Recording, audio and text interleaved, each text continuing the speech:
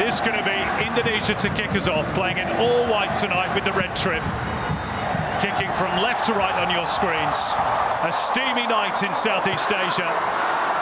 And as we say, the heat very much on the Socceroos. Do they have the character and the quality to pass this test, Andy Harper? Let's just watch and see how this develops. An early chance, which Mat Ryan has to parry away, and Struick forces Ryan into a double save at his near post. Great starts for Team Garuda. Australia under pressure. A bit more elevation this time from Goodwin. Better delivery.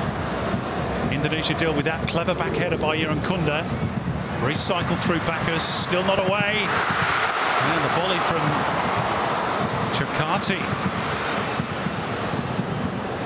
Indonesia got bodies in the way. Clever back heel for Irvine across the face. Can Australia score here? Good save by Paes to deny Harry Souttar. Australia's first real big chance, and it went the way of their big central defender. Jackson Irvine for Australia. Irankunda gonna have a go from distance. Oh, and the goalkeeper got lucky. It hit the post and rebounded onto the back of the goalkeeper, and that could have gone anywhere. That's as close as Australia have come. And that was trademark Nestory Irankunda.